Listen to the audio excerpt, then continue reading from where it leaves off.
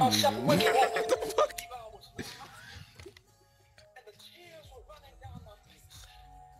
Damn. My friend told. I'm it's five four, my nigga.